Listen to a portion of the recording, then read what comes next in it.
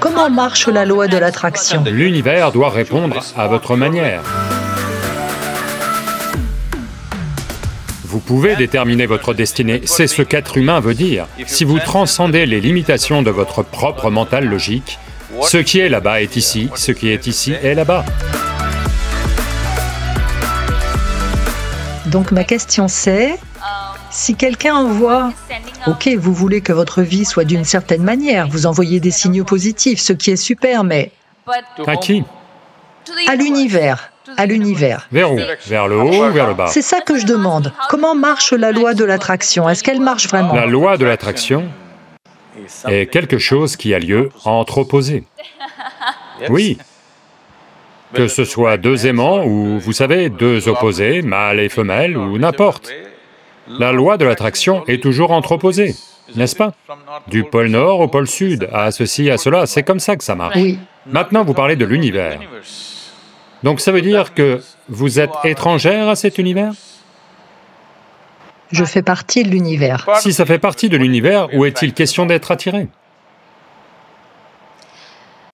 Eh bien, comment Pourquoi est-ce qu'ils disent que tu peux façonner ta propre destinée? Tu le peux, tu peux déterminer ta destinée, tu dois le faire. C'est ce qu'être humain veut dire. Oui. Voyez, si vous étiez arrivé ici comme n'importe quelle autre créature sur cette planète, elles ont des cycles compulsifs. Elles vivent en les suivant. Pour elles, ça va, parce que c'est tout ce dont elles sont capables. À vrai dire, si vous regardez votre vie, vous ne faites rien de très différent de ce que font les autres créatures. Elles naissent, vous naissez, vous grandissez, elles grandissent, elles se reproduisent, vous vous reproduisez. Elles meurent, vous mourrez. Rien de très différent. Mais ces mêmes choses simples, nous pouvons les mener consciemment. C'est ce qui fait qu'être humain est significatif. Dès que vous la gérez, disons que vous gérez votre main consciemment. Maintenant, cette main va faire ce que vous voulez, n'est-ce pas? Vous n'allez pas juste être assis ici, là et faire comme ça. Maintenant, cette main va faire ce que vous voulez. Supposez que vous gériez vos pensées consciemment. Maintenant, vos pensées vont faire ce que vous voulez. Si vos pensées faisaient ce que vous voulez, comment vous maintiendriez-vous? Extatique ou malheureuse? Extatique. Extatique. Si vous êtes extatique, partiriez-vous à la recherche du bonheur? Donc, ces choses que les gens considèrent comme les plus grandes choses dans leur vie, être en paix, joyeux, je ne sais quoi, ne signifieraient rien pour vous, parce que vous êtes extatique. Mais vous ne pouvez pas leur dire ça, ils vont se sentir insultés. Vous devez... Il faut jouer un morceau. Mais essentiellement, si vos pensées et émotions suivaient vos instructions, vous vous maintiendriez au plus haut niveau de bien-être, quel qu'il soit, n'est-ce pas? Oui. Oui. Si cela a lieu, tout le processus de vie va s'apaiser, totalement à l'aise. En ce moment, c'est parce que vous êtes un tigre prêt à bondir. Vous devez obtenir quelque chose en permanence. Il n'y a rien à obtenir. Si vous êtes assis ici, votre vie est complète. Maintenant, elle est à l'aise, totalement à l'aise. Quand elle est à l'aise comme ça, elle va devenir perceptive. Maintenant, juste faire carrière, gagner de l'argent, ou même être joyeux, ou être aimant, ou tomber amoureux, rien ne signifie quoi que ce soit pour vous. Parce que rien qu'en étant assis ici, le plus haut niveau de plaisir a lieu en vous. Donc que feriez-vous avec cette vie? Naturellement, vous exploreriez quelque chose qui ne fait pas partie de votre perception en ce moment. C'est comme ça que le processus spirituel commence. C'est comme ça que vous prenez en main votre vie. Maintenant, vous souhaitez quelque chose et ça arrive. Je veux que vous sachiez cela. Pour la plupart des gens, au moins 50% de ce qu'ils souhaitent se réalise. C'est juste qu'ils se focalisent sur certaines choses qui n'ont pas eu lieu.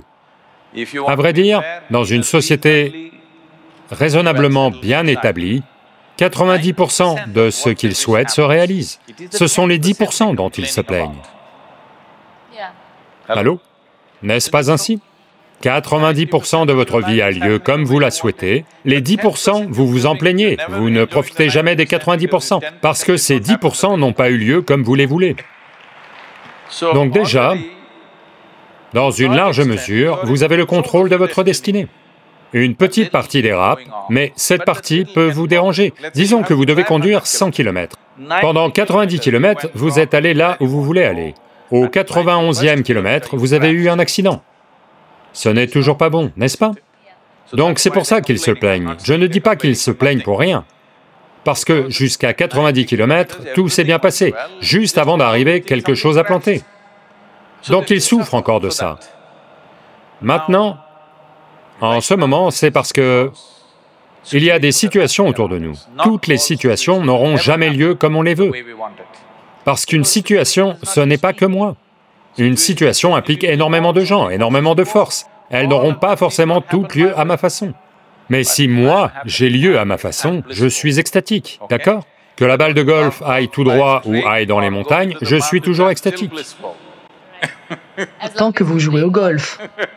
Même si je ne joue pas. Ok. Donc maintenant, en parlant de ça, tant que les choses ont lieu comme tu les veux et que tu suis ton chemin et que tu es extatique et... Non, non, non, non, non, non, non. Je ne dis pas que tant que les choses se passent comme tu veux, tu es extatique. Si tu es extatique, peu importe comment elles se passent. Peu importe comment elles se passent, tu es extatique. Voyez, le truc, c'est qu'essentiellement, le monde a mis la charrue avant les bœufs. Dites-moi, est-ce plus facile de se prendre en main soi, ou est-ce plus facile de prendre en main tous ces gens? Je veux dire, c'est plus dur de se prendre en main soi-même, vous oh, savez. Vous pouvez prendre en main tous ces gens. Je dis ça parce que les gens ne réalisent pas qu'ils doivent se prendre en main eux-mêmes et sont là à prendre en main les sociétés et communautés et les gens et ils essaient de changer les autres. Non, en ce moment, vous êtes assis ici. Est-ce plus facile de vous prendre en main, vous, ou de prendre en main tous ces gens? Moi. Vous. Vous devez d'abord faire ça, non? Ce qui est simple et facile. Si vous vous prenez en main, Voyons voir jusqu'où on peut faire coopérer ces gens.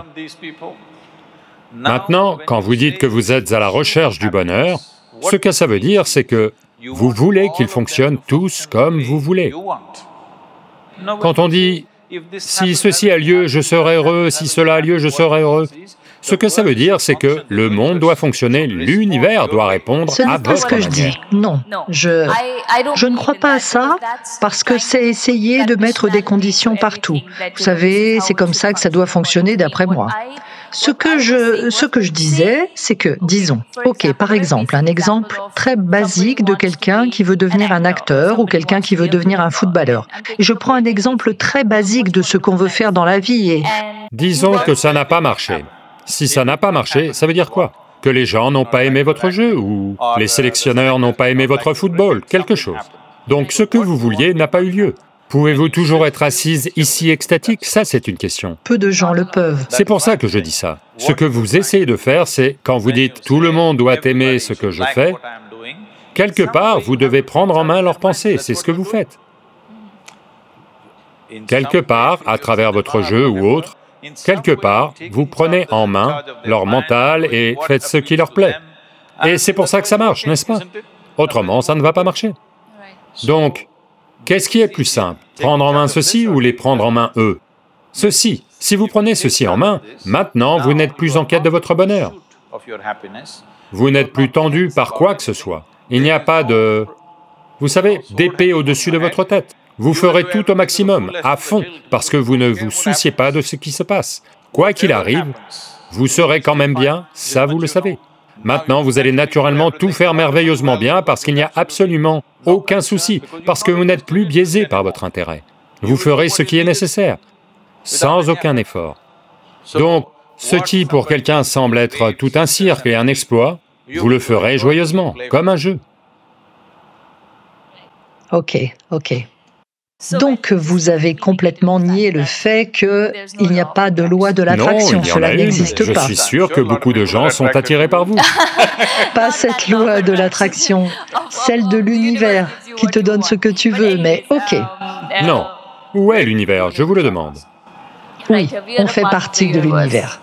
Quand les sept sages ont demandé à Adi Yogi, qu'aujourd'hui on appelle les Saptarishi, ils ont demandé où commence l'univers, où est-ce qu'il se termine, quelle taille fait-il, qu'est-ce que c'est?